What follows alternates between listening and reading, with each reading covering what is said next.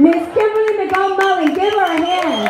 All the way from California, master dancer, entrepreneur, Afro-Cuban, and Rumba dance. I hope you enjoy.